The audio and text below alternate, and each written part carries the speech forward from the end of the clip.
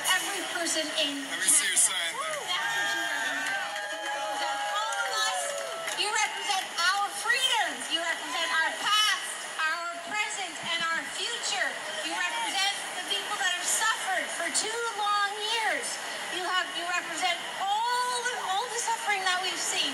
And I've seen a lot of suffering myself. I've seen the elderly, the elderly locked up in their rooms for months at a time, food delivered to their door.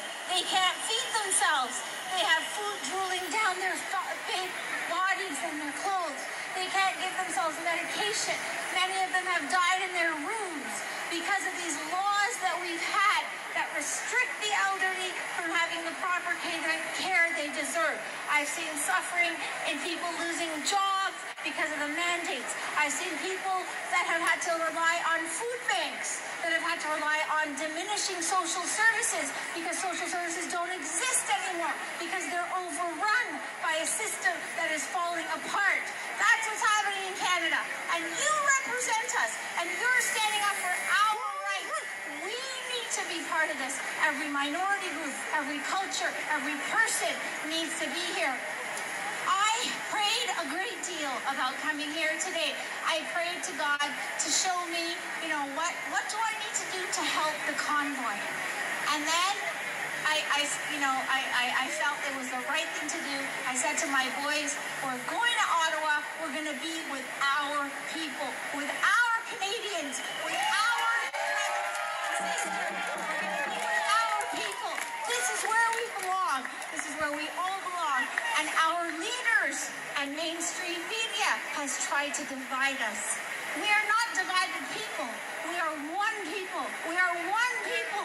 I was I was I was attending the rallies, uh, the one in Vaughan Mills in Toronto, before the convoy got here.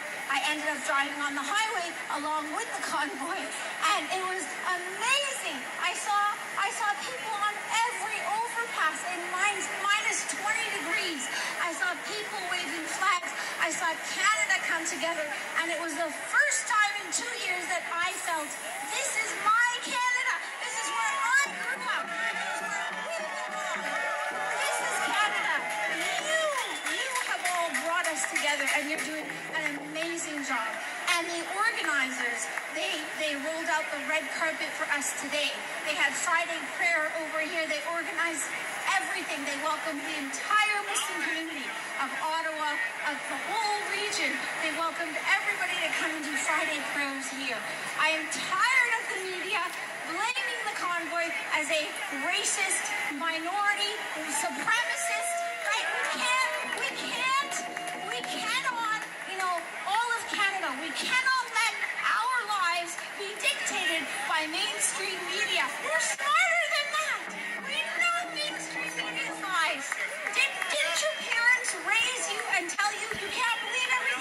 News?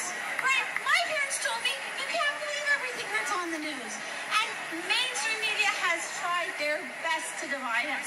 They have tried their best, but we've shown them, you have shown them, the organizers of the convoy, the truckers, everybody out here in negative 20 degrees. You've shown us what Canada is. You've shown us we're stronger together. We're stronger together. God bless you. God